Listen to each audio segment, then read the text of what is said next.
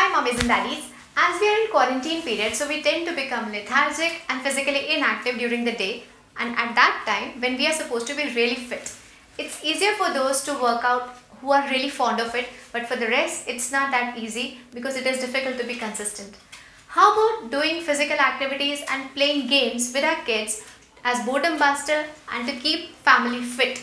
It releases all the pent up emotions and releases happy hormones in the body. I have listed certain games here which you can play indoor with your kids and if you have a courtyard, a few games you can play in the courtyard or a garden area if you have. Welcome to Payal's Life Coaching. Let's grow together. Let's begin with the games that you can play indoors if you do not have any open area around your house. Number one is Simon Says. Simon Says is a great way to keep kids physically active and engaged. Remember to include big motions like what you can say is Simon says jump. Simon says twist. Simon says run on place. Simon says jumping jacks. Simon says hop. Simon says bend. Simon says punch. Simon says squat. Simon says tiptoe. It's very important for the family to do it uh, together so that kids get really engaged and enjoy the activity. Number two is hopscotch. Not just it promotes their art and creativity but also make them physically active. Make different targets, bases, places to run to and this makes your kids physically active. Next is limbo. Take a bar and keep it horizontally. Find the ways to go under the bar.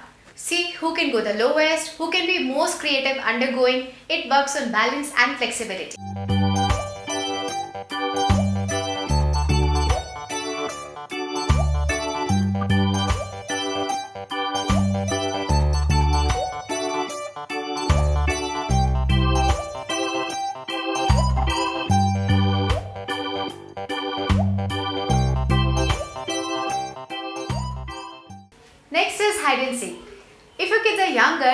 Hide and seek is probably one of the best way to get them kick out of it. They love to find their parents, their siblings and they feel too much joyous once they find them.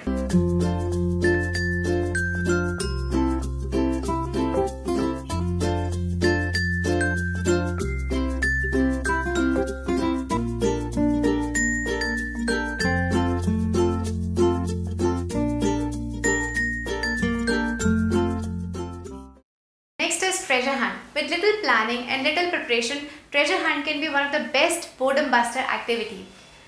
It is one of the best activity if you have stairs in your house. Hide one clue upstairs, hide another clue downstairs and you would run so many times up and down with your family without realizing that how much you are moving your body. We did this treasure hunt in our family WhatsApp group and it was a super fun. Try this out. Hold treasure hunt in your house or with your family on WhatsApp groups. Another hunt that you can do in your house is ABC hunt. Take a ball and take some slips, write different alphabets on different slips and fold them up. Now randomly pick up the slips and whichever letter you get, you have to find an object in your house starting from that letter. You can always add more letters to make it more fun. Whoever finds more uh, objects is the winner.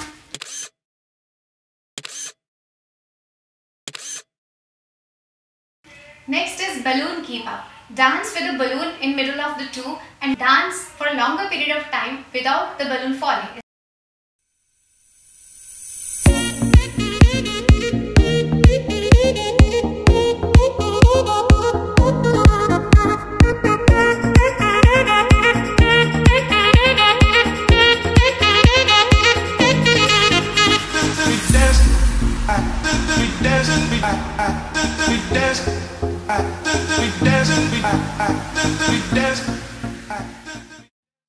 How about having a dance party?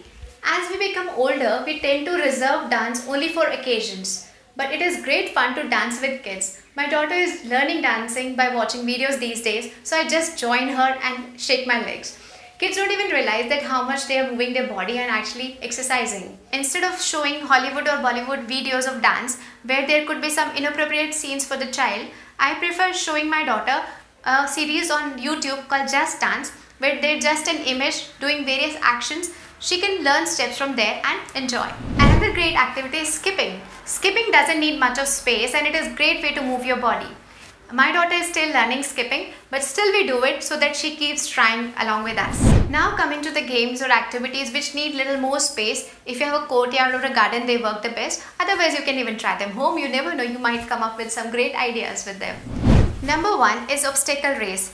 Just pick up various objects in your house which can act as an obstacle in your race. Put them in an order and try to cross each obstacle in a different manner you can be innovative with that. Each person has to create those hurdles in the same manner. Whoever crosses it the fastest is the winner.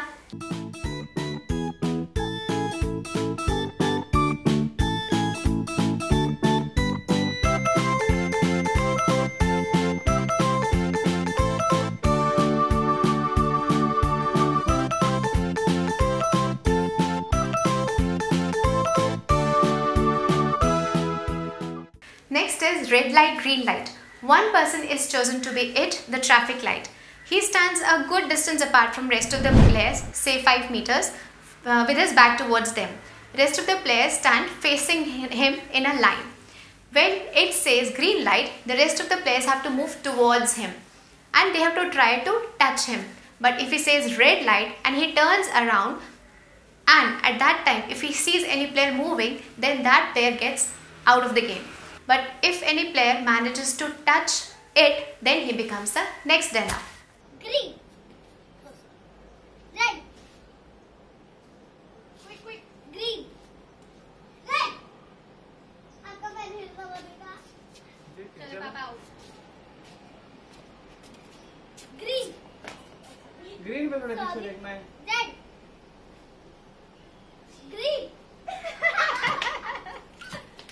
Next game is tag, which we call pakadam pakda in Hindi. To play tag, run away from the person who is it. If it manages to touch you, then you become the next it and then you have to run to catch other people and this way the game continues.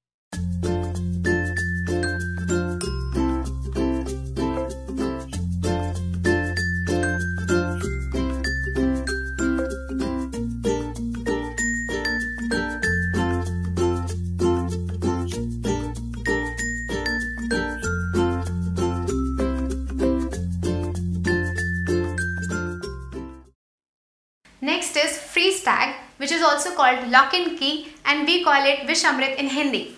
In this, the person who is it tries to chase the other players, and if he catches one of the player, he has to be frozen at his place. The other player who is not yet been frozen has to unfreeze that person by touching, and this way the game continues.